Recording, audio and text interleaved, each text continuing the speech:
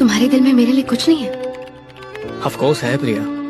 तो मुझे बहुत अच्छी लगती हो। किसी के इतना करीब आने में मुझे बहुत टाइम लगता है। और तुम्हारे साथ एक अपना सा लगा।